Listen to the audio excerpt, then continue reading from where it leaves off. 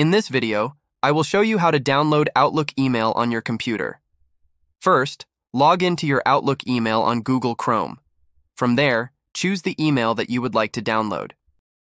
You will see two three dot icons here. Select the correct three dot icon and click on it. A menu tab will show, and you want to choose Save as option. Now the file will be saved as an EML format in your Downloads folder. Next, you can open it using Notepad or Microsoft Word to view it. However, this only works for text emails. For picture emails, it is better to use third party software such as Thunderbird to see them. You can download this on their site and connect your email to view it like I do. Alternatively, you can also use online EML converters by searching on Google. You can convert it to PDF format if you would like. However, they may not be as safe when viewing private information.